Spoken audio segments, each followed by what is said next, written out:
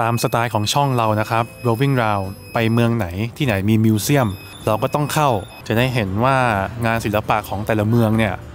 สวยแค่ไหนนะครับ ถือว่าเป็นการเรียนรู้วัฒนธรรมของแต่ละเมืองด้วย ว่าเมืองไหนเนี่ยมีศิลปินที่โด่งดังขนาดไหนบ้างนะครับ ที่เมืองนี้เนี่ยศิลปินที่โด่งดังนะครับ ชื่อว่าอูเปโนเชกกานะครับถ้าเป็นคนสเปนเนี่ยหรือว่าทุกคนเนี่ยอาจจะไม่รู้จักนะครับ แต่ว่าถ้าเป็นแบบใน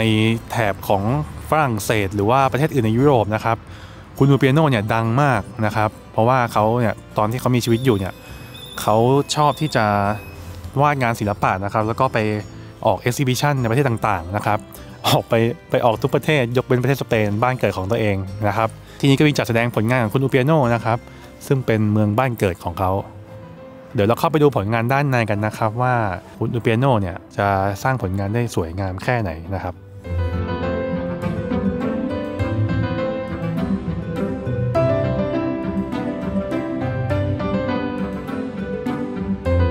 มาเข้ามาด้านในนะครับอันนี้ชื่อบาเลสเตอร์นะครับ เป็นคนที่เหมือนกับ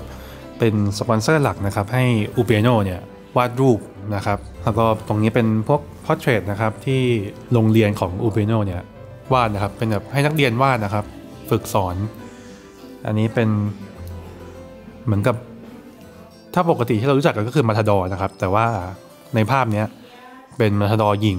คนแรก ๆ ในประเทศสเปนนะครับ ที่มาจากเมืองนี้นี่ สวยมาก แล้วก็คุณอูเปโนเนี่ยเขาเหมือนกับหลงไหลนะครับในการวาดภาพม้า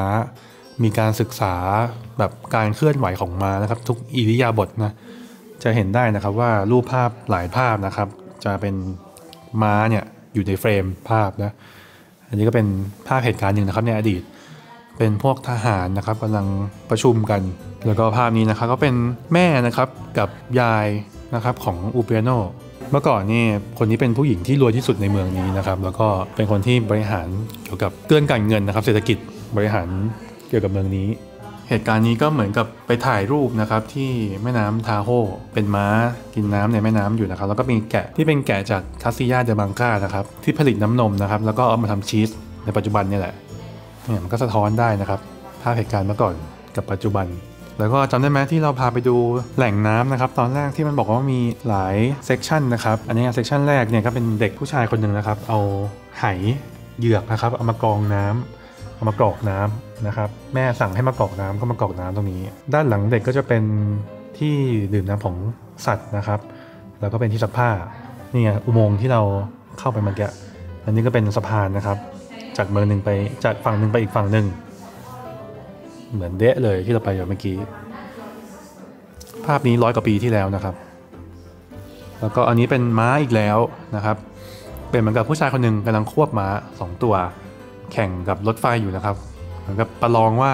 ม้าของเขาเนี่ยจะเร็วกว่ารถไฟหรือเปล่านะครับ เพราะว่ารถไฟสายเนี้ยมันช้าในเมื่อก่อนมันช้า ก็ไม่ใช่เรื่องยากนะครับ ที่จะให้ม้าแซงรถไฟ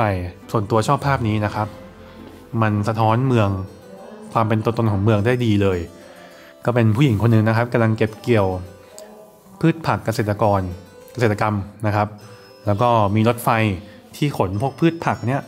เข้าเมืองหลวง ซึ่งก็คือมาดริดนะครับ เก็บเกี่ยวเอาไปขายในเมืองใหญ่ แล้วก็ด้านหลังก็เป็นฉากของเมืองนี้ ครบมากนะ ภาพนี้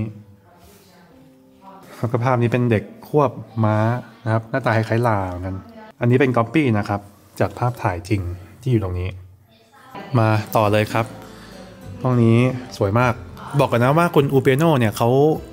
ช่วงอายุประมาณ 18 นะครับเขาเนี่ยเคยได้รับทุนให้ไปเรียนศิลปะที่อิตาลี 3 ปีนะครับ แล้วก็ที่ปารีสในฝรั่งเศสอีก 1 ปี ลักษณะพิเศษของคุณอูเปโนเนี่ยคือเขาเป็นคนที่มีจินตนาการสูงมาก คือจะวาดรูปอะไรสักอย่างเนี่ยไม่จำเป็นต้องมีแบบแบบเลยนะ คือทุกอย่างเนี่ยปลายผู้กันเนี่ยออกมาจากจินตนาการล้วนๆเลยนะครับ แต่ว่าจินตนาการก็เบสอยู่ในความเป็นจริงด้วยนะ ภาพนี้นะครับเป็นภาพดราฟหรือว่าภาพสเก็ตนะครับไม่ใช่ภาพวาดภาพจริง คือเขาวาดภาพนี้แหละแต่ว่าภาพสวยจริงๆอะมันจะใหญ่กว่านี้มากนะครับ แล้วก็ความหมายของภาพนี้ก็คือเป็นช่วงที่ชาววิสิกอตหรือว่าบาบาเรียนคนเถื่อนเนี่ยมาบุกชาวกรุงโรมนะครับ แล้วก็ยึดเป็นยุคล่มสลายของอารยธรรมโรมนะครับ นี่ก็เป็นชาวบาบาเรียนวิสิกัตนะครับกำลังฆ่าพวกชาวโรม โรมันนะครับ แล้วก็เป็นตึกสไตล์โรมันอยู่ตรงนี้อะให้ทุกคนดูนะว่าเป็นยังไงนะ เป็นภาพที่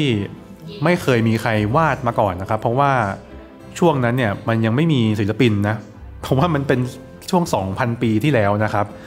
ประมาณ 70 ปีหลังคริสต์กาลนะครับ เป็นภาพเหตุการณ์ที่เมืองปอมเปอีนะครับที่ภูเขาไฟระเบิด แล้ว คนเกือบทั้งเมืองเนี่ยโดนลาวาคลอกนะครับตายหมดเลย ก็เป็นช่วงยุคโรมันนะครับเป็นชาวโรมันเนี่ยกำลังหนีตาย แต่ว่าอยากจะให้ดูพวกสีหน้านะครับ สีหน้าไม่ว่าจะเป็นคนหรือว่าสัตว์เนี่ยหน้าคนแบบตื่นตระหนกมากนะครับ หน้าม้าก็หนีตายอะ่ะแล้วนี่ก็เป็นคนที่คนรวยนะครับกำลังหิ้วหีบสมบัติหนีนี่คนนี้ก็แบกหีบสมบัติหนีนะครับ แล้วก็มีหมาด้วย มีหมาก็มีโซ่คล้องคอ คือมันก็เป็นจินตนาการของคุณอูเปียโนแหละว่าสมัย 2,000 ปีที่แล้วเนี่ยเขาเลี้ยงสัตว์นะครับเลี้ยงหมาเหมือนปัจจุบัน แล้วก็ภาพนี้พิเศษมากเพราะว่าเป็นผลงานที่ทำให้อูเปียโนเนี่ยเป็นที่รู้จักไปทั้งโลกหรือว่าทั้งยุโรปนะครับ เพราะว่าภาพนี้ชนะรางวัลเหรียญทองอันดับหนึ่ง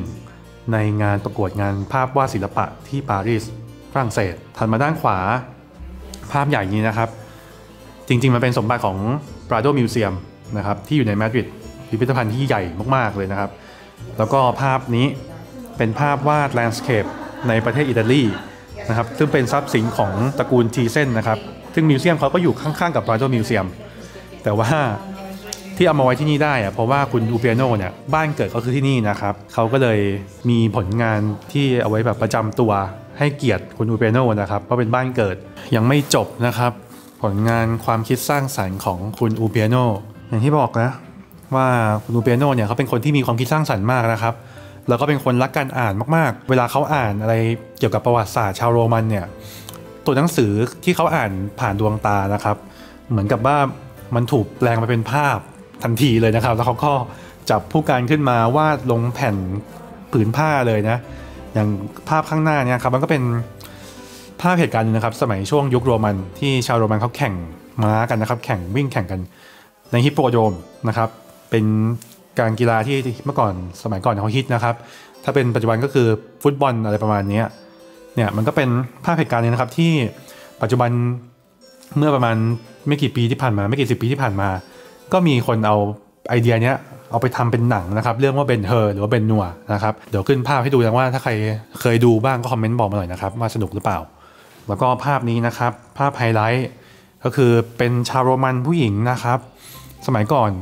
เนี่ยเป็นหน้าตาอย่างนี้เลยหน้าตาเขาก็แบบจินตนาการเอาเองนะครับ ว่าหน้าตาต้องเป็นอย่างนี้ ไม่รู้ว่า based on หน้าตาคนในยุคของเขาเองหรือเปล่า แต่ว่าพวกเครื่องแต่งกายพวก decoration ของบ้านเฟอร์นิเจอร์เนี่ยจินตนาการเอาหมดเลยนะครับ หรือไม่ก็คือบางสิ่งอาจจะมีเขียนอยู่ในประวัติหรือว่าหนังสือนะ แต่ว่ามันก็ไม่ใช่ทุกสิ่ง ที่ทำให้ภาพภาพหนึ่งวาดออกมาได้นะครับดูดีเทลพื้นแล้วก็มีเงาของผู้ชายคนหนึ่งแอบมองอยู่ หน้าตาคล้าย ๆ แบบลาตินลาตินหน่อยนะเนี่ยสวยมากเป็นแบบเครื่องแต่งกายแบบโรมันเลยนะครับนี่ก็เป็นอีกหนึ่งอิริยาบถนะครับที่ชาวโรมันคุยกัน น่าจะเจออ่านเจอในประวัติสักเรื่องหนึ่งนี่ม้าอีกแล้ว ถ้ามาดูที่เนี่ยเห็นม้าเยอะไม่ต้องแปลกใจนะ เพราะว่าเขาเนี่ยชอบวาดภาพม้ามากนะครับ มีการศึกษาทุกท่วงท่าการขยับของม้าตลอดเวลานี่ไงภาพเหตุการณ์เบนเฮอร์นะครับโดนเอาไปทำเป็นหนัง โดนก๊อปไอเดียเอาไปทำเป็นหนัง เป็นปกหนังสือเรื่องเบนเฮอร์งานประติมากรรมก็เด็ดเหมือนกัน อันนี้เป็นรูปหล่อนะครับ รูปหล่อทองแดง คือเขามีความแบบมีความเชื่อครับแบบอยากจะเชื่อนะครับว่าม้าเนี่ยมันสามารถบินได้นะครับ เท้ามันก็เลยไม่ติดอยู่กับพื้น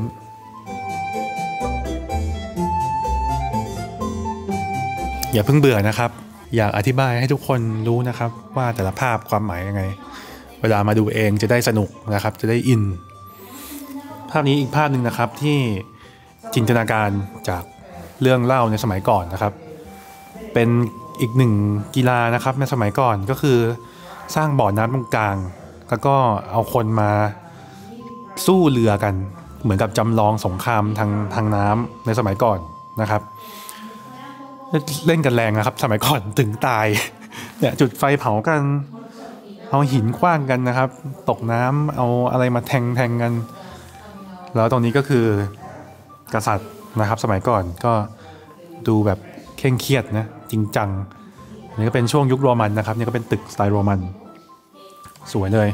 แล้วก็บางคนเขาก็บอกนะครับว่าภาพนี้เป็นภาพที่มันดูเหมือนวาดไม่เสร็จนะครับ เพราะว่าคือ ความตั้งใจของอูเบโนนะครับเขาตั้งใจเน้นแค่ด้านหน้าของภาพก็คือส่วนนี้นะ foreground เนี่ยตรงด้านหน้าเนี่ยชัดหมดเลยนะครับ แล้วก็ตรงกลางเนี่ยมันก็จะค่อยๆเลือนลางไปละนะเพราะว่าเขาเน้นแค่แบบให้มันมีโฟกัสกับ background นะครับให้มันดูมีมิตินะไม่ได้เน้นรายละเอียดด้านหลังมากเนี่ยครับคนก็ค่อยๆจางหายไปเป็นสีนะครับ แล้วก็ภาพนี้ สมัยก่อนไม่มี Photoshop นะครับ อันนี้เป็นรูปภาพของคนรวยไฮโซคนหนึ่งนะครับ ชาวอาร์เจนตินาในสมัยก่อน จ้างอูเปโนวาดภาพนะครับ เพราะว่าอูเปโนตอนนั้นนะดังแล้ว แล้วก็ด้วยความที่สมัยก่อนยังไม่มี Meitu นะ ไม่มีแบบแอปบีบภาพนะครับ ก็เลย request อูเปโนเนี่ยให้วาดภาพตัวเองให้มันดูสวยและดูแบบเอวคอดที่สุดนะครับ ก็เลยออกเป็นอย่างนี้นะครับ อูเปโนก็คือ Meitu ในช่วงร้อยปีที่แล้วง่ายๆเลย แล้วก็ภาพนี้นะครับ ภาพนี้ชอบมาก เป็นอีกหนึ่งไฮโซชาวอเมริกาใต้นะครับทวีปอเมริกา ชอบตรงที่เป็น detail นะครับคือ detail ที่ที่มิวเซียมเนี้ยเขาเล่นด้วยแหละ ในภาพนะครับมันเหมือนกับว่าภาพเนี้ยเพ้นตอนเย็นนะครับ เพราะว่าเนี่ยดูจากตรงตรงตัดของผู้หญิงนะครับ มันก็มีแสง สีฟ้าลอดเข้ามาเป็นแสงแบบแสงตอนเย็นนะครับ บวกกับโคมไฟที่เปิดนะครับ แล้วก็มีแบบเนี่ยแสงส่องอยู่ที่แขนนะครับ ตรงนั้นช่วงลำตัว แล้วก็ไฟที่ส่องมาทางด้านนี้นะครับของตัวแบบมิวเซียมเขาเล่นไฟนะครับ ไฟจริงๆ ส่องมาที่นี่นะครับ แต่ว่าในภาพเนี่ยในภาพมันคือแสงในแบบอิริยาบถนั้นน่ะ มันส่องทางนั้นจริง ๆนะครับ ชอบมากชอบมากสวย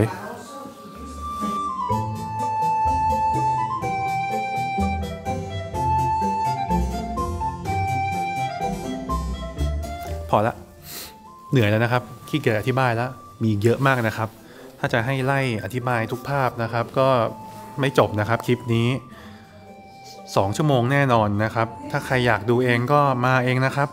สวยกว่าดูผ่านหน้าจอโทรศัพท์หรือว่าหน้าจอคอมแน่นอนนะ แล้วก็เนี่ยเปิดคลิปเราดูภาพไปเรื่อยๆ ก็ได้นะครับ ถ้าภาพไหนแบบพิเศษพิเศษเนี่ยไฮไลท์เราก็อธิบายให้ฟังนะครับโรวิ่งลาวไม่เคยทำให้ผิดหวังนะครับ เก็บทุกมิวเซียม ยังไม่จบนะครับ ที่นี่ไม่ได้มีชั้นเดียว ห้องนี้เป็นสีเขียวเป็นผลงานช่วงที่คุณอูเปียโนเนี่ยเขาไปอยู่ที่ปารีสนะครับที่ฝรั่งเศสนะครับแล้วก็สร้างสรรค์ผลงาน ออกมาหลายรูปแบบเลย ห้องทำงานของอูเปียโนนะครับ แล้วก็ตรงนี้ก็มีภาพที่เราเห็นเมื่อกี้นะ ที่เป็นชาวโรมันต่อสู้เรือกันนะครับในสนามประลอง งานหลักๆของในห้องนี้นะครับก็มันก็เน้นเป็น portrait นะครับเป็นเป็นภาพเหตุการณ์จริงบ้างละแต่ก็มีเรื่องราวเกี่ยวกับเทพในสมัยก่อนผสมผสมมาบ้างนะครับ มีเหตุการณ์สำคัญสำคัญนะครับ เกี่ยวกับนโปเลียนนะครับที่ไป ทำสงครามกับที่อื่นนะครับ แล้วก็มีเหตุการณ์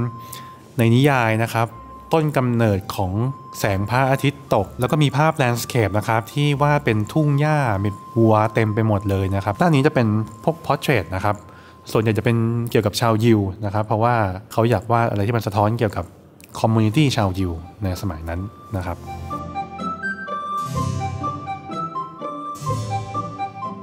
ชั้นล่างก็มีนะครับ อันนี้เป็นอุนเปียโนนะครับ ช่วงอายุประมาณ 15 ปีนะเนี่ยก็มีช่วงเวลาภาพพอร์เทรตนะครับ ภาพถ่ายจริงๆนะไม่ใช่ภาพวาด มาจนถึงช่วงอายุประมาณ 55 นะครับ หน้าตาอย่างนี้นะครับ วาดภาพเรื่องราวเกี่ยวกับประเทศอื่นมาเยอะนะครับ มาถึงด้านล่างเนี่ยอูเปโนเขาก็อยากจะวาดภาพอะไรที่มันเกี่ยวกับประเทศบ้านเกิดของตัวเองบ้างนะครับ ซึ่งคือสเปน โดยการวาดภาพที่สะท้อนวิถีชีวิตในด้านดีนะครับของชาวสเปนนะครับว่าเมื่อก่อนเนี่ยมีความเป็นอยู่ที่ดียังไงนะครับเป็นสิ่งสวยงามให้คนที่อยู่นอกประเทศประเทศอื่นเนี่ยรับรู้นะครับว่าประเทศสเปนเนี่ยก็ไม่แพ้ชาติอื่นในในยุโรปหรือว่าในโลกนี้นะครับเนี่ยก็เป็นภาพวาดเกี่ยวกับตลาดนะครับ flea market ตั้งแผงขายของนะครับ อันนี้ก็เป็นคนสองคนคุยกันอยู่ในตลาดนะครับ หรือว่าพื้นที่ต่างๆ แล้วก็มีเรื่องราวเกี่ยวกับราชวงศ์นะครับ ราชวงศ์สเปนเป็นแบบจีบกันนะครับ ส่วนใหญ่จะเป็นเรื่องราวเกี่ยวกับเรื่องราวโรแมนติก เป็นแบบภาพวาดโลกสวยหน่อยนะเดี๋ยวนี้เป็นโบสถ์ที่ซานติอาโกเดคอมโพสเตลานะครับ ใหญ่มากของที่ใหญ่มาก นี่ก็เป็นหนึ่งในการแต่งตัวพื้นเมืองของชาวสเปนเมื่อก่อนนะครับ ปัจจุบันก็ยังมีแต่งอยู่นะนี่เอสปาโนล่าเนี่ยเน้นวาดภาพผู้หญิงสวยๆนะครับ เสร็จแล้วเรียบร้อยนะครับ one day trip ในเมืองโกเมนาเดโอเรฮานะครับ ดีมากนะครับ เมืองนี้ถือว่าเป็นเหมือนกับเมืองชนบทเล็กๆนะครับ ที่อยู่ในพื้นที่แถบๆมาดริดนะครับ นั่งบัสมาก็ได้นะครับ ประมาณชั่วโมงเดียว หรือว่าใครมีรถส่วนตัวเนี่ยก็ขับออกมาได้ประมาณ 45 นาทีเหมือนกันนะครับแล้วท่องเที่ยวไม่เยอะเลยนะครับ ที่นี่เดินสบายมาก ชอบมากชอบมากเมืองนี้ได้ไปโรงงานชีสนะครับชีสแกะ ได้ดูโรงงานชีสนะครับ ว่ากรรมวิธีเนี่ยเป็นยังไงได้ชิมด้วยนะครับ ว่าอร่อยแค่ไหนนะครับ ได้ไปโรงงานไวน์ที่เป็นของพื้นเมืองนะครับ ได้ดูประวัติว่าเมื่อก่อนเนี่ยทำไวน์กันยังไง แล้วก็เก็บไวน์กันยังไงนะครับ แล้วก็ได้ดูมิวเซียมคุณอุเปียโนนะครับ Amazing มากไม่คิดว่าจะมีผลงานที่ดีขนาดนี้นะครับ บอกเลยว่าส่วนตัวเนี่ยไปดูมิวเซียมมาเยอะนะครับ แต่ว่าผลงานของคุณอุเปียโนเนี่ย ไม่แพ้ศิลปินคนอื่นเลยนะครับที่ดัง ๆ ในสเปน ส่วนเรื่องอาหารนะครับก็ใช้ได้เลยนะครับ ทานได้ง่ายเลยอร่อย เดี๋ยวเรากลับมาดริดแล้วนะครับ ปัจจุบันจะทุ่มหนึ่งละปิดหมดแล้วนะครับ หนาวด้วยรีบกลับมาดริดนะครับ อุ่นๆดีกว่า ถ้าใครชอบคลิปนี้นะครับ อยากให้เราพาไปเที่ยวเมืองไหนประเทศไหนอีกนะครับ ก็คอมเมนต์มาได้นะครับ แล้วก็อย่าลืมกดไลค์ให้ด้วยนะครับ เป็นกำลังใจ ที่สำคัญนะครับกดติดตามช่อง Loving Round นะครับ จะได้ไม่พลาดสถานที่สวยๆนะครับในต่างประเทศนะครับวันนี้ไปละ Brain